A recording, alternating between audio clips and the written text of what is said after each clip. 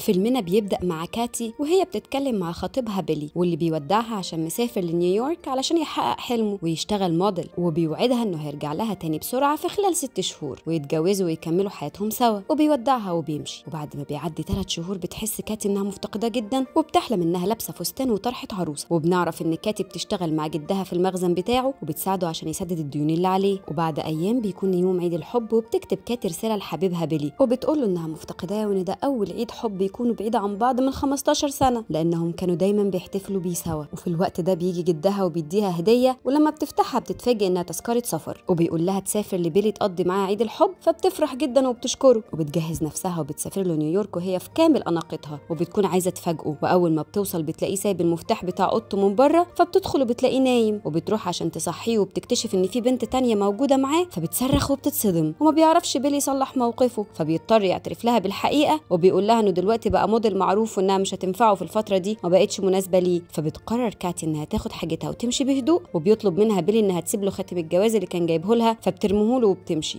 وبتفضل ماشية في الشارع ومش عارفة تروح فين لأن كل خططها باظت. وبتفتكر هايلي بنت عمها اللي عايشة في نيويورك من زمان. فبتقرر إنها تتصل بيها وتطلب منها المساعدة وبتديها هايلي عنوانها وبتطلب منها إنها تستناها هناك لحد ما تخلص شغل وترجع لها. ولما بتوصل كاتي للمكان بيكون من العشوائيات وبتدخل الشقة وبتلاقيها مش نظيفة. وبتضطر إنها تستنى لأن ما عندهاش مكان تاني تروح له. وبالليل لما بتوصل هايلي بنت عمها وبتقعد كاتي معاها وبتحكي لها عن اللي حصل لها وإن بيلي سابها وتخلى عنها عشان واحدة تانية بتقول لها هايلي إنها طول عمرها ما كانتش بتحبه ولا بترتاح له وبتعرض عليها إنها تفضل موجودة في نيويورك وما ترجعش تاني غير لما تحقق نفسها وتبدأ تشتغل من الصفر وتعتمد على نفسها وتنسى إن بيلي كان في حياتها. وتاني يوم بتصحى هايلي الصبح وبتطلب من كاتي إنها تروح الشغل مكانها لأنها عندها تجربة أداء في التمثيل ولازم تروح. وبتقول لها تاخد العجلة بتاعتها وتوصل الحاجات لشركة معينة. بعد ما بتمشي بتركب كات العجلة وبتبدأ تخبط في كل حاجة وبتقع أكتر من مرة لحد ما بتقع في حفرة وبيساعدها واحد من العمال اسمه بيني وبيكون عايز يتعرف عليها وبيعزمها على الغدا بس بترفض وبتسيبه وبتكمل في طريقها. وبنشوف في الشركة واحدة اسمها ديبرا وهي نائب رئيس الشركة. وبتكون متعصبة جدا لأنها عرفت إن ريتشارد رئيس الشركة استبعدها من صفقة كبيرة وبتحاول إنها تدخل مكتبه أثناء الاجتماع وتتناقش معاه. لكن سكرتيرته بتمنعها وبتقول لها إنها عندها تعليمات منه بكده. فبتتضايق ديبرا وبتروح تتكلم مع فريدي المساعد بتاعها. وبتقول إنهم لازم يشوفوا أي طريقة يبعدوا بيها السكرتيرة دي ويجيبوا مكانها حد يكون تبعهم ويقدروا يوجهوه وكمان يعرفوا منه كل المعلومات عن رئيس الشركة وفجأة بتخرج كاتي من الأسانسير وبيكون معاها العجلة بتاعتها ومن غير ما تقصد بتيجي العجلة على جزمه ديبرا وبتوسخها فبتتعصب ديبرا عليها وبتزعق لها وبتقول لها إنها هترفدها وتستغنى عن خدمات التوصيل بتاعتها فبتعرفها كاتي إنها مش شغالة عندهم وإنها جاية مكان بنت عمها ليوم واحد. وقبل ما يطردها فريدي بتفكر ديبرا إن كاتي هي الشخص المناسب اللي كانت بتدور عليه وبتعزمها على الغدا وبيزيد إعجابها بيها لما بتعرف إنها مش من نيويورك وإنها في الأصل من مدينة بعيدة وبتضحك عليها وبتقول لها إنها شايفة إن عندها طموح وبتفكرها بنفسها لما كانت في سنها وبتعرض عليها إنها تشتغل سكرتيرة رئيس الشركة وبتطمنها إنها تقف جنبها وهتساعدها. وعلى طول بتوافق كاتي وبتكون فرحانة جدا وبترجع البيت وبتحكي لهايلي إنها لقيت وظيفة في شركة كبيرة. وتاني يوم بتروح للشركة ولما بتشوفها ديبرا ما بيعجبهاش لبسها. وبتقول لها إنها مش جاية تحضر فرح وإن دي مش هدوم تناسب تقدمها الوظيفة. تاخدها وبتشتريها لبس جديد وبتغير في شكلها وشعرها. أما فريدي فبيحط لسكرتيرة رئيس الشركة مخدرات في الدرج بتاع مكتبها وبيبلغ الأمن عنها إنها مدمنة. وبيجوا في وقتها يقبضوا عليها وبتترفد من الشركة وبكده يكون نفذوا نص خطتهم. وبعدها بتوصل كاتي للشركه وبيكون شكلها حلو وأنيق وبتلفت نظر كل الموظفين. وبتاخدها ديبرا لمكتبها وبتعمل لها سيرة ذاتية وبتكتب فيها حاجات كتير مش حقيقية. زي ان عندها خبرات في الشغل في مؤسسات كبيرة. وبيكون مخططة مع فريدي إن ريتشارد رئيس الشركة لما يقابلها هيخلوها تعمل كل حاجة لصالحهم لحد ما يوقعوا ريتشارد وتمسك ديبرا الشركة مكانه. في اللحظة دي بتسيبهم كاتي عشان تدخل لريتشارد رئيس الشركة. وقبل ما توصل مكتبه بيقابلها بيني اللي خرجها من الحفرة فبتستغرب كاتي إنهم اتقابلوا تاني. وبتقول له انه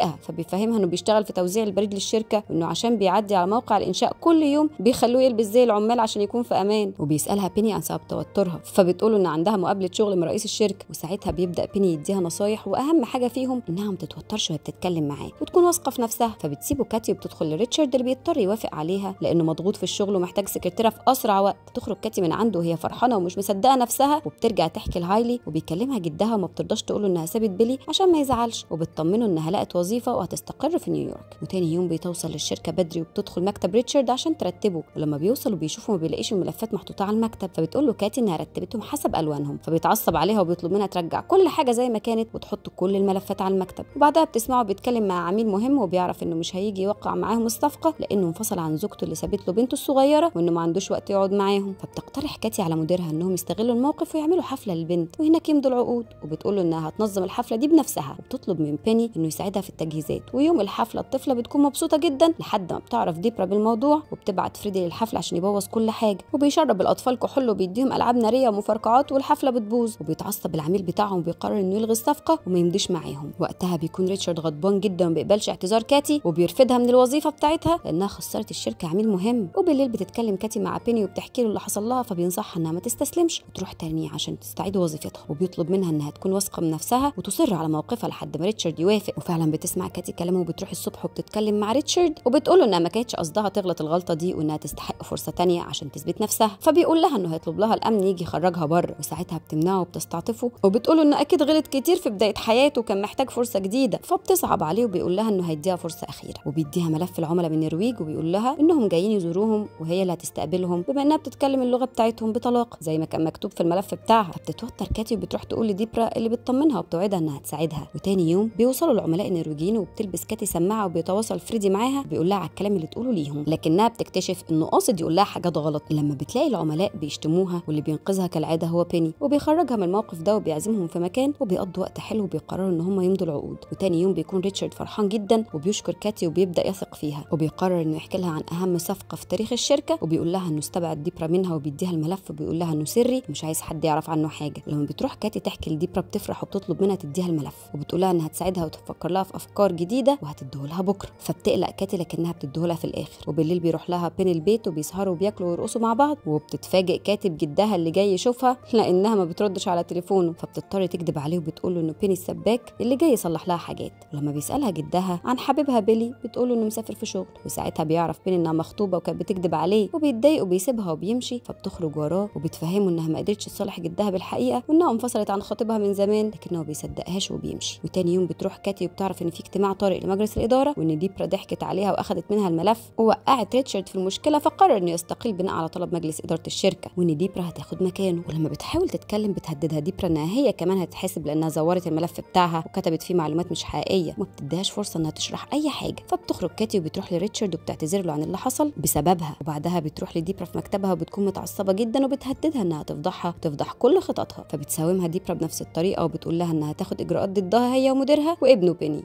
وقتها بتتفاجئ كاتي لما بتعرف إن بيني ابن رئيس الشركة تستغرب إنه ما قالهاش. لما بترجع البيت بتلاقي بيلي خطيبها الأولاني مستنيها هناك وبيجي جدها فجأة فبتمثل عليه وبتتكلم مع بيلي بشكل طبيعي عشان ما يعرفش إنهم منفصلين عن بعض. وبيقرر جدها إنهم يرجعوا كلهم لمدينتهم الصبح. تاني يوم بيجهزوا حاجتهم قبل ما يمشوا بيعتذر لها بيلي وبيحضنها وبيطلب منها تسامحه. وبيشوفهم بيني من بعيد وبيتضايق وبيمشي. وبيروح جدها يتكلم معاها وبيقول لها إنه عرف كل حاجة من بنت عمها وخيانه خطيبها ليها وانه كل اللي عايزه إنها تكون سعيدة. وبيتفق معاها إنه هيسيبها تكمل شغلها وهياخد بيلي ويمشي. وبعدها بتروح كاتي تدور على بيني وبتطلب منه يساعدها في مشاكل الشغل لكنه بيعتذر لها وبيرفض. ولما بتروح الشركة تاني يوم بتلاقيه موجود هناك فبتستغرب وتفتكر إنه جاي عشانها. وبيحرجها وبيقول لها إنه جاي عشان يساعد باباه. فبتسأله عن السبب اللي خلاه يكذب عليها وما يقولهاش الحقيقة. وبيقول لها بيني إنه كان عايز يستقل ويعتمد على نفسه وبيتفقوا مع بعض إنهم يقعدوا مع العملاء اللي جايين يزوروهم ويجيبوا عملاء مزيفين لديبرا. وبتتفق كاتي مع هايلي إنها تجيب لها ممثلين عشان تكسب وقت مع العملاء الحقيقيين تقنعهم بمشروعها. وفعلا بيعجبوا أفكارها. وفي الوقت ده بتقدر ديبرا إنها تكشف اللي معاها لما بتشك فيهم وفي اسئلتهم الغريبة. وبتروح للمكتب اللي فيه كاتي وبيني بتكون متعصبة جدا. ولما بتعرف إن العملاء عايزين يشتغلوا مع ريتشارد وابنه بتكسر المجسم بتاع المشروع. وبيجي الأمن وبياخدها وبيرجع ريتشارد رئيس شركة مرة تانية وبيشكر كاتي على اللي عملته. وبيقول لها إنه هيسدد كل الديون اللي على مخزن جدها كمكافأة ليها. ولما بتمشي بيروح وراها بيني لما بيعرف إنها سابت خطيبها وبيلاحقها بالعجلة بتاعته. لكن بيقع في نفس الحفرة اللي كاتي وقعت فيها أول مرة. ولما بتشوفه بتنزل من العربية وبتروح تنقذه وبيعترفوا لبعض بحبهم وبتقرر إنها تكمل حياتها معاه للأبد.